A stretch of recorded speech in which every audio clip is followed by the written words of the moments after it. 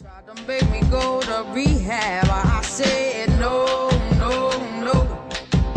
Yes, I've been black, but when I come back, no, no, no.